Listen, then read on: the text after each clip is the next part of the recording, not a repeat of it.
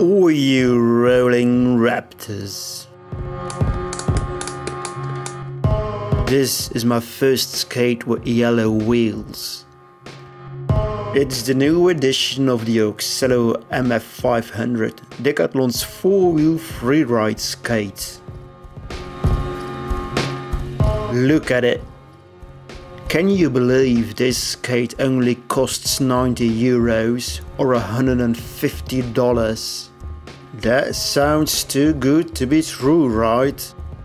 But the Oxelo MF500 is very real. And I even like the look of it. In my next video, I will test how this thing rides.